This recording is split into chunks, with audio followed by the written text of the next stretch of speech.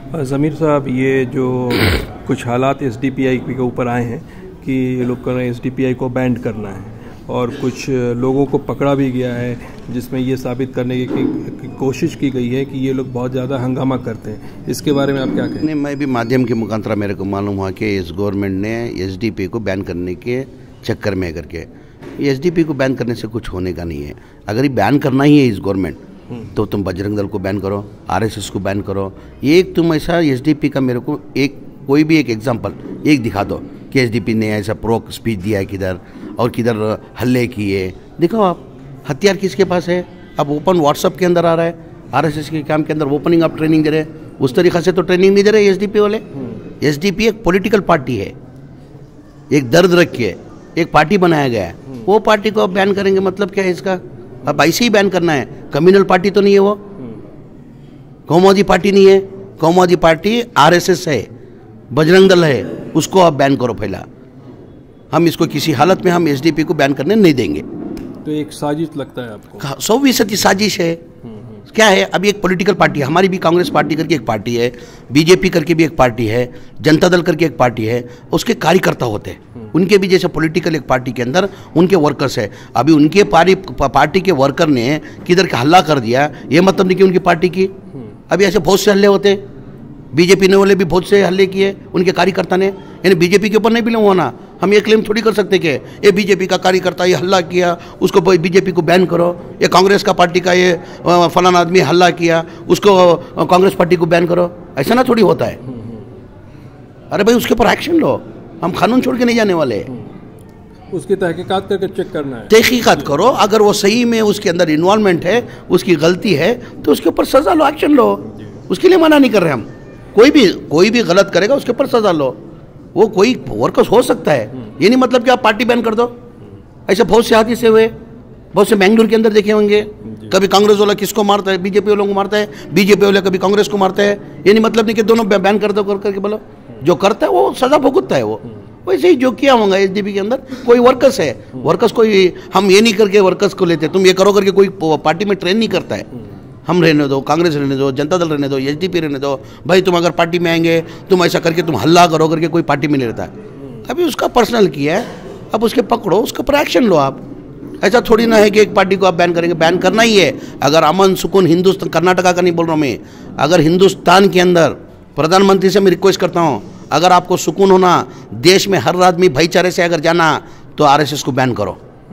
बजरंग दल को बैन करो। मैं भी बहुत देश से, बहुत देश घुमा हूँ। हिंदुस्तान छोड़ के दूसरे देश में गया हूँ, सऊदी अरेबिया गया हूँ, लंदन गया हूँ, यूरोप गया हूँ, मेरे हिसाब से प्रधानमंत्री जी, हिंदुस्तान के अंदर जो हिंदू, मुसलमान, सिख, ईसाई जो चाहत, मोहब्बत से, भाईचारे से किधर नहीं है। वो अमन नगर आप बचाना चाहते हैं, देश की आग भलाई चाहते हैं तो वो बंद करो, आरएसएस बंद करो, बजरंग दल बंद करो। ये नहीं कि आप एच बैन करो इधर कर्नाटका के अंदर।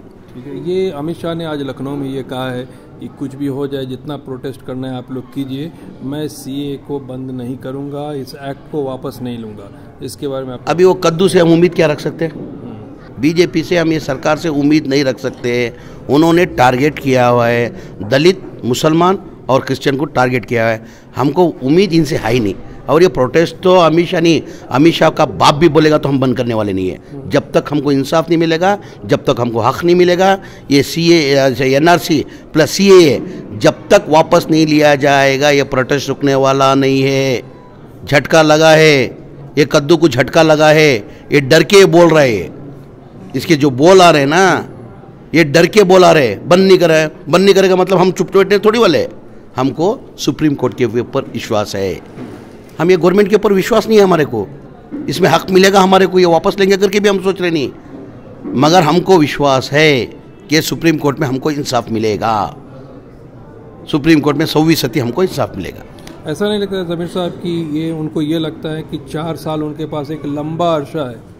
गवर्नमेंट चलाने के लिए। और उनको ये लगता है कि ये चार साल तक तो ये लोग थक जाएँगे तो जो करना है वो करो। ये शायद उनके दिमाग में बात आ गई है इसलिए वो बिंदास स्टेटमेंट देते हैं आप जो करना है कर लो हम वापस नहीं लेंगे। अल्लाह के घर में देर है अंधेर नहीं है। इंसान का पल चार साल तो दूर की बात। पल भर का भरोसा नहीं कभी भी ढम भी हो सकता है। हम्म। मेरी मिसाल ले लो। मैं सोचा था मैं सत्तर अस्सी साल तक मैं कुछ नहीं होऊँगा मैं घटमुट हूँ मेरी उम्र लगती नहीं मैं एकदम एक्टिव हूँ। मैं मेंटेन करके रखा है। हाल ही के अंदर दो महीना पहला मेरी तबीयत नासार होके मेसियो अटैक हुआ।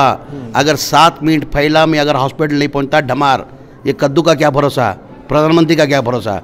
थोड़ी लिखा के लेके ना आए ये लोग कि मैं इतनी दिन जीऊँगा करके कोई भगवत गीता में नहीं है कोई कुरान में नहीं है कोई बाइबल में नहीं है कि इंसान इतने दिन जिएगा करके सब उसकी मर्ज़ी है। चार साल का क्यों बात कर रहे हैं आप? अल्लाह के घर में देर है? अंधेर नहीं है। उसकी लाठी में आवाज़ नहीं आएगा। तो ये लोग जो डरा रहे हैं अभी कि कल को हम बैंक में भी अगर एनपीआर का पेपर नहीं देंगे या एनआरसी आप नहीं करेंगे तो आपके अकाउंट को भी सीज कर दिया जाएगा। जो एक लोगों के अंदर डर है उसके लिए क्या कहना चाहिए? कितने अकाउंट को आप सीज करेंगे? मेरे हिसाब से हिंदुस्तान की आबादी 135 करोड़ है। अब उसके अंदर दलित भाई लोग 30 परसेंट है, मुसलमान उनके सेंसस के हिसाब से 18 से 20 परसेंट है 50 परसेंट हो गया। क्रिश्चियन भाई के दो तीन परसेंट ले लो, लगभग 60 परसेंट, साठ साठ करोड़ आवाम हो गई। कहाँ से आप उनका साठ करोड़ आदमी का आप बैन करेंगे? ये सब डराने की बात है ये, कोई डरने की कोई ज़रूरत नहीं है, और जेल डालेंगे। हम डॉक्यूमेंट नहीं देंगे। तो क्या करेंगे? ज़्यादा ज़्यादा करके जेल क्यों डालेंगे करके बोलते हैं? अच्छा भाई, मेरी एक छोटी सी एक मिसाल है। ये कर्नाटका की आप बात ले लो। बेंगलुरु में एक जेल है मड़वाल के पास एक जेल है। उसकी कैपेसिटी कितनी है? दस हज़ार की कैपेसिटी है। बराबर ना? अब इधर से आप एक एक डिस्ट्रिक्ट में एक एक जेल है। जैसे कि रामनगर में एक जेल है मंडिया में एक जेल है मैसूर में एक जेल है चामराजनगर में एक जेल है बेलगाम में एक जेल है हुबली में एक जेल है। हमारे तीस डिस्ट्रिक्ट होते हैं। तीस डिस्ट्रिक्ट के अंदर एक एक लाख की भी कैपेसिटी ले लो तो तीस का कितना हो गया? तीन लाख हो गया। हमारे पूरे स्टेट्स कितने स्टेट्स है? हिंदुस्तान के अंदर तीस तीस स्टेट है। तीस स्टेट के कितने हो गए? तीस लाख जेल की कैपेसिटी है। तुम साठ करोड़ आवाम को कहाँ रखेंगे? कैपेसिटी उतने की बनी है।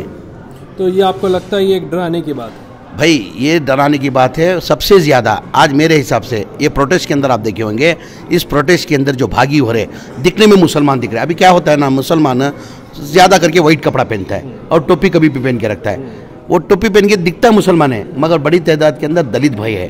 हिंदू भाई लोग जो सेक्युलर माइंडेड है, उनके, उनसे ज़्यादा आज पूरे हिंदुस्तान के अंदर जब से आज़ादी आई, आप देखे होंगे हिस्ट्री है, कभी स्टूडेंट्स प्रोटेस्ट के लिए नहीं निकले थे, आज स्टूडेंट्स प्रोटेस्ट कर रहे हैं, हर कॉलेजेस के अंदर प्रोटेस्ट हो रहा है, हर कैंपस के अंदर प्रोटेस्ट हो रहा है, वजह क्या है, वो लोग जानते हैं, आने वाले दिन के अंदर ये एनआरसी प्लस सी जो है, मेरी आवाम को तकलीफ़ आई करके अरे नरेंद्र मोदी जी, चलो भाई मुसलमान आपके एमपी बोलते कि मुसलमान पढ़ा लिखा नहीं है, जितने भी प्रोटेस्ट कर रहे हैं, टायर पंचर डालने वाले, ये वेल्डिंग करने वाले। अरे भाई, इंसान की एक ना एक दिन तो पंचर होना ही है। वो पंचर डालने के लिए मुसलमान के पास आना ही ना। अच्छा चलो भाई, हम लोग अनएजुकेटेड टायर पंचर डालने वाले अरे भाई, हर स्टेट के अंदर रिटायर्ड जेड लोग प्रोटेस्ट क्यों कर रहे हैं? हमारी कर्नाटका का मिसाल ले लो। गोपाल गौड़ा जी ओपन उलमा एकरम के प्रोटेस्ट के अंदर आके उस खिलाफत किए।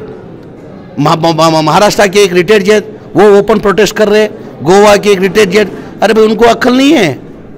नरेंद्र मोदी जी चलो भाई मुसलमान पढ़ा लिखा नहीं है। मुसलमान पूरा टायर पंचर डालने वाला। मोदी जी आप भी मत भूलिए आपका जूना वाला आप भी चाय बेचने वाले थे। हम टायर पंचर डालते थे। बराबर ना टायर तो हर एक का एक ना एक दिन हर एक की टायर तो एक ना एक दिन पंचर होना ही। परमानेंट टायर कोई नहीं रहता है। पंचर डालने के लिए हमारे पास ही आना है? मगर आप भी मत भूलिए कि आप भी चाय बेचने वाले थे। तो आखिर में प्रोटेस्ट करने वाले जो लोग हैं उनके लिए क्या मैसेज? मैं ये प्रोटेस्ट आप जारी रखो। हमको ये गवर्नमेंट के ऊपर उम्मीद नहीं रख सकते कि हम ये वो वापस लेंगे करके। इसके ऊपर प्रेशर पड़ रहा है। जैसे कि रीजनल पार्टी है।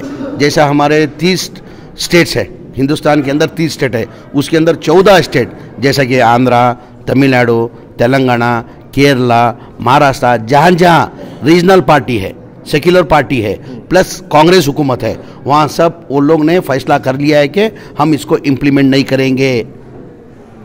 इम्प्लीमेंट नहीं करेंगे करके अगर कर्नाटका के अंदर, अगर हमारी हुकूमत होती, हाल ही के अंदर हमारी हुकूमत थी, दो चार महीने पहले हम कोलिशन गवर्नमेंट में थे ये गौर- हमारे एम को लेके आज उन लोगों ने हुकूमत बनाया। अगर हमारी हुकूमत होती तो इधर कोलिशन गवर्नमेंट तो हम भी इसको इम्प्लीमेंट नहीं करते थे।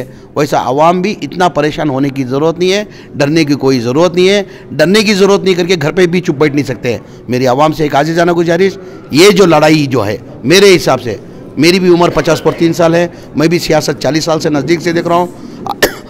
आज़ादी जब से हुई, कभी आज़ादी के बाद कभी इस तरीके से प्रोटेस्ट हुआ नहीं था और बीजेपी वाले ने भी कभी सोचा नहीं था कि इस तरीके से प्रोटेस्ट होएगा करके। आज ये लड़ाई कैसे चल रही है? आज़ादी के लिए जैसे आदमी लड़ाई करे थे, ब्रिटिश से जो आज़ादी हमने लिया, उस तरीके से इस लड़ाई चल रही है। ये लड़ाई इधर ही रोकने का नहीं है, ये लड़ाई को आगे बढ़ाना। मेरी आवाम से एक आजीजाना रिक्वेस्ट है, जिधर जिधर आप प्रोटेस्ट हो रहा ये नहीं कि आप चामराजपेट हल्के में जिधर भी आपको मालूम पड़े, आपके पास वक्त निकल के वो प्रोटेस्ट में आप भागी होना ये हमको, ये गवर्नमेंट से उम्मीद नहीं है। हमको उम्मीद है सुप्रीम कोर्ट के अंदर हमको हक, फैसला मिलेगा और हमको कोई इधर से हिंदुस्तान से निकाल ही नहीं सकता। कोई मई के लाल की मजाल नहीं है। कोई भी निकाल नहीं सकता। ये हम लोग प्रोटेस्ट करें सिर्फ़ ये संविधान के खिलाफ है। जो बाबा साहब अंबेडकर जो संविधान लिखा था, जब बाबा साहब अंबेडकर को आज़ादी मिलने के बाद 1940 बरसात में संविधान लिखने के लिए गांधी जी प्लस नेहरू, संविधान किससे लिखा जाए? कौन सही संविधान लिख सकता? तो ये तय किया कि बाबा साहब अंबेडकर को देंगे। तो बाबा साहब अंबेडकर को दिया गया। बाबा साहब अंबेडकर जो संविधान लिखने के लिए एक साल का टाइम नहीं लिया, एक महीने में नहीं किया, दो महीने में नहीं किया, कम अज़ कम तीन साल पूरा टाइम लेके उन्होंने संविधान लिखा है और वो संविधान के खिलाफ ये एक्ट आया हुआ है। और ये एक्ट के खिलाफ, ये अमेरिका ने नोटिस सर्व किया है कि भाई तुमने अमित शाह जी को भी नोटिस सर्व किया है, नरेंद्र मोदी को भी नोटिस सर्व किया है कि तुमने ये एक्ट के खिलाफ तुम ये संविधान के खिलाफ तुम्हें एक्ट लेके आकर के ऑलरेडी नोटिस सर्व हुआ है। और इनकी ज्यादती कर रहे हिटलर हिटलर का देखे होंगे। हिटलर किया रूल किया। क्या हालत हुई लास्ट में उसकी? किस तरीके से मौत हुई इसकी? ये भी हिटलर के रूल के जैसा करने जा रहे हैं। एक ना एक दिन जाना ही है प्रधानमंत्री जी, आपको, हमको सब जाना है।